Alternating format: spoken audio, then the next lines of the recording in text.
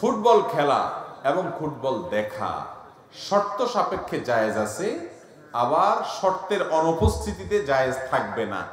আমরা অনেকে মনে করি, খেলাধুলা বোধহয় ইসলামে হারাম। সব খেলাধুলা, আনন্দ বিনোদন, হাসি রসিকতা, এগুলো বলতো ইসলামে নাই। ইসলামে শুধু নামাজ কালাম আছে, রোজা আছে জাকাত আছে, হজ আছে, ওয়াজ শুনো, ওয়াজ করো গুরু গম্ভীর জিনিসপত্র আছে। আমাদের দুনিয়াতে বেঁচে থাকার জন্য একটু হাসি, একটু বিনোদন, একটু খেলা, একটু আনন্দ, এগুলোর দরকার আছে না নেই? এগুলো ছাড়া মানুষ বাঁচতে পারে? মানুষ তো সামাজিক প্রাণী। সামাজিক অনেক বিষয় যেরকম তাদের দরকার হয়। বিনোদনমূলক অনেক কিছুরও দরকার। সেই বিনোদনের সকল ব্যবস্থা ইসলামে আছে। ইসলামে কোনো কিছুর অভাব বা সংকট নাই। মুসলমান যথেষ্ট সমৃদ্ধ। অমুসলমানের কাছ থেকে ধার করে কোনো কালচার বা সংস্কৃতি আনার দরকার নেই। মুসলমানের নিজস্ব সংস্কৃতি স্বয়ং সম্পূর্ণ যেমন আমাদের প্রিয় নবী সাল্লাহ আলাইসাল্লাম তিনি কবিতা আবৃত্তি করার জন্য অনুমতি দিতেন। তিনি নিজেও কবিতা আবৃত্তি করেছেন। খন্দকের যুদ্ধের সময় পরীক্ষা খনন করার সময়, মসজিদে নবী নির্মাণের সময় এবং আপনার হোনাইনের যুদ্ধের সময়। তিনি কবিতা আবৃত্তি করেছেন। আনন্দ নবী কাদিব আব্দুল মুত্তালিব। তিনি কবিতা আবৃত্তি করেছেন।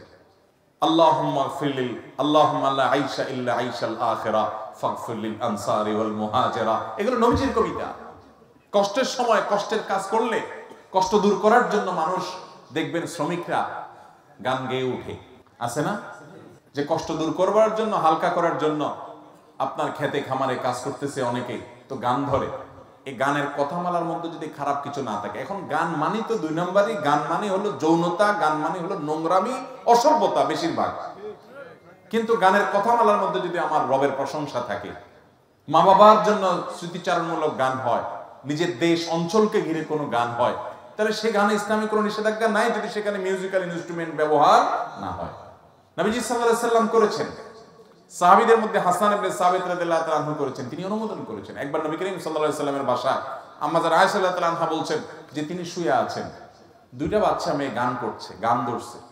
অবকর রাদিয়াল্লাহু তাআলা ঢুকে বলতেছে, আরে, নবীজির ঘরে বসে গান ধমক দিছে। নবী করিম সাল্লাল্লাহু আলাইহি সাল্লাম উঠে এসে বলছেন, দাও প্রমাণ তাদেরকে গান গাইতে দাও। খালি গলায় গান গাচ্ছে। এখানে কোনো মিউজিক বাদ্যযন্ত্র নাই। গানের কথার ভিতরে খারাপ কিছু নাই। গজল মানে খোলা গলা, খালি গলার সংগীত যেটাকে বলেন, যেখানে খারাপ কিছু নেই। সেটা তারা গাচ্ছে, কোনো অসুবিধা নেই। এখন গান তো মানেই হলো প্রেম প্রীতি। এখন গান মানেই কি? আর এই প্রেম প্রীতি নামে অবৈধ যত সম্পর্ক আছে, এগুলোর যত গান আছে, এগুলোও দেখেন, এগুলো মানুষকে আরও অশান্তিতে নিয়ে যায়, এগুলো শান্তি দিতে পারে না। এই জন্য প্রেম প্রীতির যত গান আছে, দেখবেন জ্বলে গেল রে, পুড়ে গেল রে, শেষ হয়ে গেলাম রে, মরে গেলাম রে, ওই কপাল পড়া আসলে শেষ হয়ে যায়, ধ্বংস হয়ে যায়। ওর দুনিয়া বরবাদ আখেরা তো। কিন্তু আপনি যদি আল্লাহর প্রশংসা গান গান, দেখবেন দিলটা ভালো লাগতেছে। আপনি যদি নবীর প্রশংসা, নবীর হাম পড়েন, দেখবেন দিলটা ভালো লাগতেছে, আপনার মনটা ভালো লাগতেছে। এগুলো নিষেধ না, এই বিনোদন ইসলামে আছে। সেখানে মিউজিক থাকতে পারবে না। কথার মধ্যে গানের খারাপ কিছু থাকতে ছেলেরা ছেলেদের মধ্যে গাইবে, মেয়েরা মেয়েদের মধ্যে গাইবে, বাচ্চারা যে কোনো জায়গায় গাইবে, বিয়ের অনুষ্ঠানে বিশেষ করে বাচ্চারা গাইবে, সেখানে মিউজিকের ব্যবহার থাকবে না। এখন তো আমরা মিউজিক দিয়ে ডেক সেট বাজাই, যেটা হারাম। ভাইরা আমার। খেলাধুলা হিসাবে ইসলামে।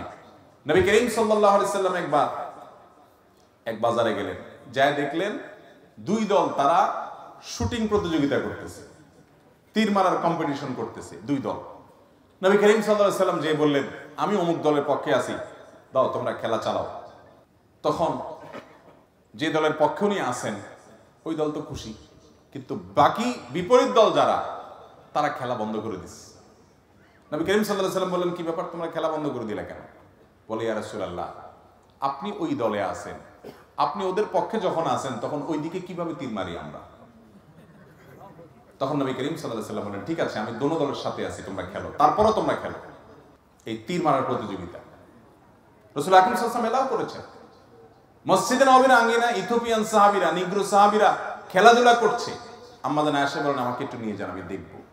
তাহলে ভাইরা আমার যদি কোনো যুবক, যে কোনো বয়সের মানুষ ফুটবল খেলে, সেই ফুটবল খেলা যদি সতর ঢাকা থাকে, সেখানে যদি একদল আরেক দলের কোনো টাকা পয়সা লেনদেন না করে নিজেদের মধ্যে, আদান প্রদান না করে, জুয়া যদি না থাকে, এটা শুধু শারীরিক কসরতের জন্য হয়, যে আমার শারীরিক ব্যায়াম হবে, মানসিক ফুর্তি হবে, তো এই ধরনের খেলাধুলা খেলা জায়েজ আছে এবং এটা দেখাও কি আছে?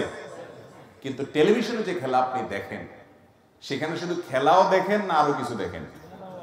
বরং খেলার চাইতে অখেলাই। এরপরে সেখানে আপনি সতর মুক্ত করা হয়, সেটি দেখতে হয় আপনাকে।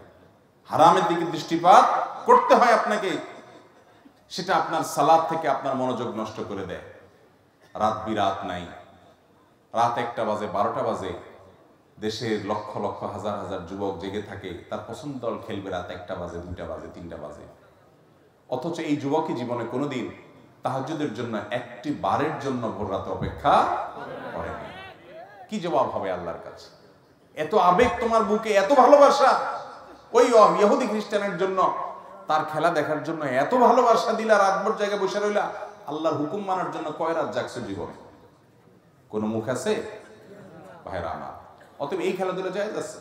এইভাবে বিনোদন করলে সেটা জায়েজ আছে। এবং এটা দেখাও জায়েজ আছে। আমরা ইসলামটাকে শুষ্ক মনে না করি যে ইসলামে কোনো বিনোদন নাই, হাসি নাই, আনন্দ নাই, সবকিছু আছে ভাই। সবকিছু আছে। নবী করিম সাল্লাহ সাল্লাম কৌতুক করতেন, রসিকতা করতেন। কিন্তু রসিকতা করে মিথ্যা কথা বলতেন না। এখন তো যুবকরা কয়েকজন একসাথে হলে রসিকতা মানেই হলো সব দুই নম্বর কথা, খারাপ কথা, নোংরা কথা, বাজে কথা। বন্ধু বান্ধব মানেই হলো এটা। অথচ নবী করিম সাল্লা সাল্লাম একবার রসিকতা করে, মজা করে একজন সাহাবিকে বললেন, ও দুই কানওয়ালা, এদিকে আসো। ডাক দিয়েছেন, কি বলে? দুই কানওয়ালা। তো দুই কান কান নাই। এটা বলে তিনি মজা করলেন। সবাই একটু আনন্দ পেলেন। তাহলে কথা দিয়ে কৌতুক করা, যদি অসত্য না হয়, মিথ্যা না হয়, নবীজি মিথ্যা বলেন নাই, যা বলছেন সত্য, তার কান্দ দুইটাই আছে। কিন্তু মজা করলেন মাঝখান থেকে। ভাইরা আমার, অতএব এরকম আনন্দ বিনোদন করা কি আছে? তিনি একবার কোন এক সফরে আম্মা যেন আয়েশা রাদি আল্লাহ তালা আনহা এবং অন্য সাহাবিরা সবাই ছিলেন। সবাইকে বললেন, সবাই দৌড়াদৌড়ি প্রতিযোগিতা করো। কম্পিটিশন করা দৌড়াদৌড়ি। এটা এক ধরনের খেলা। দৌড়াদৌড়ি করো। কে আগে যেতে পারে? টার্গেট ঠিক করে দাও। রেসিং এবং আয়েশা আল্লাহ তালাকে বললেন, আসো, তুমি আমার সাথে কম্পিটিশন করো। তো একবার নবী করিম সাল্লাহ সাল্লাম আগায় গেছেন, আবার স্ত্রী জিতে দিয়েছেন। জিতে দিয়ে বলছেন, আগেরটার বিনিময়ে এটা কাটাকাটি।